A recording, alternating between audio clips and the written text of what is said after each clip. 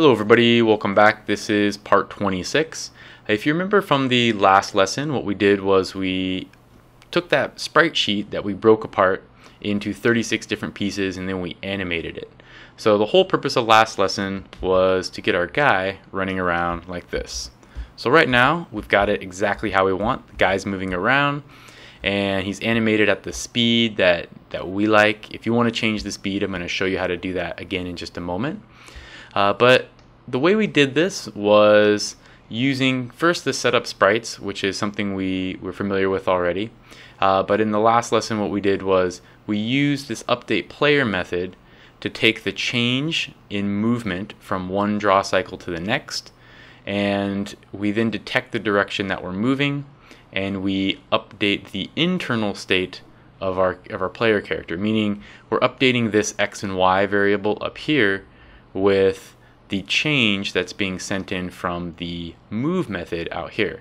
So remember the move method, all it's doing is just detecting how much x and how much y has changed since the last time the draw loop was called. And meaning it's really just going to be one in any direction. That's the most it's going to be able to move. It's going to be able to move one up, one down, one left, one right.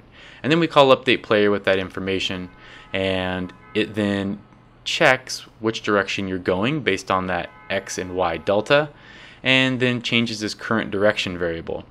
Now, the clever thing we did with the current direction variable was we used it here as the array row.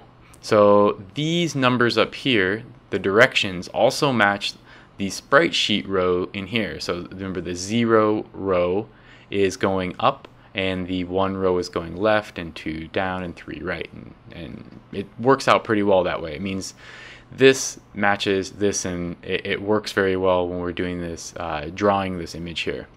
Now there's a couple things in here I want to describe in a bit more detail. And one of them here is this this modulus operator. Now I haven't really talked about this yet uh, in any in any detail but I'm gonna go, I'm gonna pop over to another program here and I'm going to show you exactly what modulus is. So if you're familiar with modulus, just go ahead and skip over the next couple minutes. But for those of you who aren't, uh, let's let's take a look. Okay, so modulus is is a pretty simple concept to understand. It's really just the the remainder to a division problem. So for example, if I make a 10 and b equal to 14, and c equal to 3. Yeah, uh, let me make this a little bit smaller. Let's make this 4 and 3. Okay. Now, if I print this out, say I do A modulus B, what I'm saying here is 10 divided by 4, and then it does that calculation essentially, and it gives you the remainder from that. And what that means is how many times can B go into 4? Well, 4, 8, and I can't put it another time. So what's left over? Well, 8 and 10, 10 minus 8 is 2. So if I were to run this, we would get a 2. Okay? So that's, that's all it really is.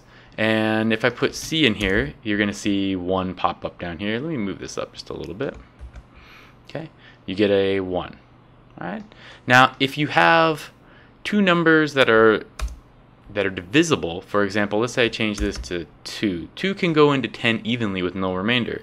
So if I said A modulus C, it would be 0 because 2, 4, 6, 8, 10 and there's no remainder. So that's all modulus is. You can just think of it as the division uh, or the, the remainder of a division problem. So why is it so useful? Well, in programming, it's actually used a lot of times. Things like when we want to detect is a number even or is a number odd. So actually I can detect very easily if a number is even or odd. So for example, I can just say, say I have a number 167 and I do modulus 2. Now, you can tell this is going to give a remainder of 1 because it's not even. So anytime I, I take a modulus 2, if I get a 1, the number is odd. If I get a 0, the number is even. It's just that it's just that simple. So 168 is going to give me 0. So that's an even number. All right. So why am I using it here? Well, you have to remember the the professor PNG is broken into four rows, and each row has nine columns. And the first column is the character standing still. So those other eight columns eight columns here, uh, need to be need to be drawn in a row, and then I need to loop back around to the start. So what this is doing is it's saying take the current frame, and the current frame, if it's whatever number it is, plus 0.5 divided by 8. Okay, well the current frame starts at what? Well, it starts at 0. So what's this answer actually going to end up being? Let's pop back over here and see. So if current frame is 0, and I'm adding 0.5 to it, and then I take modulus 2. So let me let me make this a little bit more. There we go, current frame.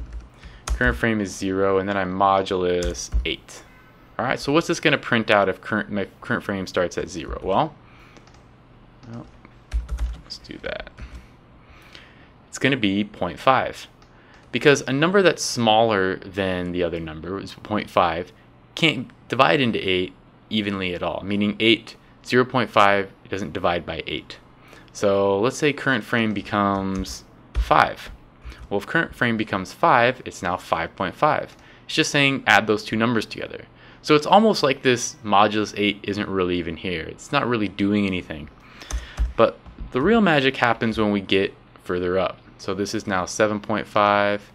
And now when I get to 8, what happens? Or let's see, sorry, 7.5. Well, 7.5 plus 0.5 is 8. Well, what's 8 mod 8? 8 mod 8 is 0. I turn this to a floating point here, sorry. Is 0. Okay, so that's that's it. If I then go over this, so I say I did 18. Well, I'm back at 2.5. So really all this is doing is it's saying you can never go over the number 8. You're always going to be between 0 and 8, okay, including 8. And how that helps us is up here we take the current frame, which is 0 to 8, and we add 1 to it. That means the lowest number we will have is 1, and the highest number we'll have is 9, which corresponds to the, the first frame of our animation and the last frame of our animation. And then whenever current frame gets added on above 8, it then gets reset back down to being 0. Okay, so it's helping us loop through. So I recommend just go play with Modulus, go play with it a bunch. I, I put a link in uh, lesson 25 to kind of help you with Modulus. So if you want to take a look at that and, and, and just go, just learn a little bit about it. It's very, very, very helpful, very, very helpful operator. All right, but now let's get on to combining this code with our main program.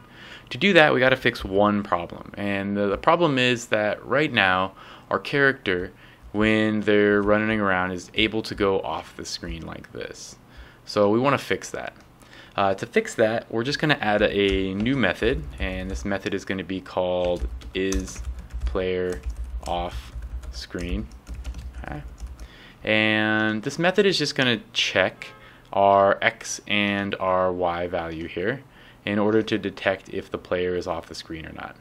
Okay, and I'm just going to put int x and int y. And it's a pretty simple method. It's just if x is less than 0, okay, or x is greater than width minus 30, okay, or y is less than 0, or y is greater than, let's see, height minus 56, then I'm going to return true, otherwise I return false. Alright, so what did I do here? Well, remember the this character here, we're detecting everything from the top left corner of the little box that surrounds him. So if I turn this back on, you can see that here, turning this, this guy back on. You'll be able to see this top, this corner of this box right here. So let me move that over. So this right here, and the character here is 30 pixels wide and 56 pixels high. So that's why I have width minus 30. So when the character runs over to this side, I'm detecting from the top left corner, so I want to stop 30 when this is 30 pixels is touching here so when it's width minus 30 and height I want to stop the height when it is y, which is also measured from the top left corner, minus 56. Okay, so how do I use it up here? Well, it's pretty simple. I just say if is player off screen xy okay. then I'm going to move the player back to where he originally was. So right now I've, I've added something onto the player but if the player is off the screen I'm going to say no you can't go there so back it up whatever your movement was. And it's about as simple as that let's see is it, oh is player off Oh, okay. Let's change this to this to a floating point. Sorry, that's my mistake. Uh, so if I'm running over here, now the player gets stuck at there, stuck at the wall. He still animate, so he's pretend like he's running into the wall. And the same thing happens up here. So right now the player will respond to all of the sides. Okay. So there's really not much too much more to do inside this code. What we've got to do now is we're going to have to take all of this here and we're going to have to update it into our original program. So let's go back to our original program, which we haven't seen in a long time. So just to refresh your memory, it looks like this. Oops, we got these ants running around everywhere. And we want to take our guy and put him in here. So to do that, we're going to create a new tab. I'm going to call this player because that's the name of the class we made. I'm going to come back over here, control A, and I'm going to copy everything inside of here. So now the player is all inside, and that's really about it. Uh, we got to come out here, and we're going to have to update a little bit of information in our move method, uh, because this move method is the one we want. We want this guy here. So I'm going to take that and I'm going to come back over here and I'm just going to copy that in. So all I'm doing, I'm just cutting and pasting, cutting and pasting. And I'm going to have to create a player character. So I'll also come back over here and notice how I've created the player character like this. So I create the player character. Now let's create it. Yeah, that's fine right up there. And we're going to create player player here. And the only thing I have left to do is player dot draw. Player. And at this point everything has been changed and it should go ahead and draw the player exactly how I want now I've got let's see player update player I do need to update my player as well I've got that done right here I've got my draw player right here and should go ahead and run it Oh, I do need to make sure that the image is in the folder. Let me uh, take this guy off. I didn't think I put the I didn't think I put the Professor Green image in there, but I know I put the Professor image in. There we go. All right, so there's our guy, and the guy is in here now. So running around, no interaction yet with the ants. Notice that the ants are going to be drawn on top of him.